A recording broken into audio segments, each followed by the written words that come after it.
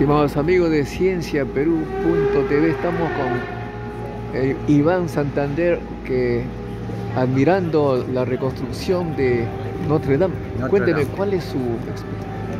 Yo trabajo en la Universidad Gabriela Mistral de Chile.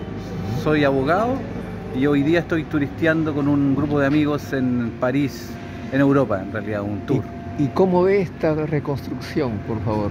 Sí, eh, la Notre Dame es una de las eh, iglesias más famosas de Francia, es la segunda iglesia más visitada eh, y hoy día está siendo construida, se ve poco en el frente, pero este es el costado y donde comentaba con mi- mis compañeros están las gárgolas que son un típico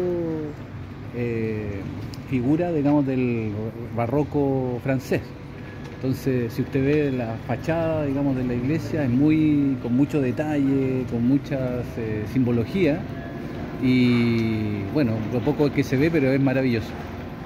La rosa, esa debe ser la rosa de los vientos, me parece, que es la que está en la mayoría de las eh, iglesias eh, aquí en Francia y en los palacios.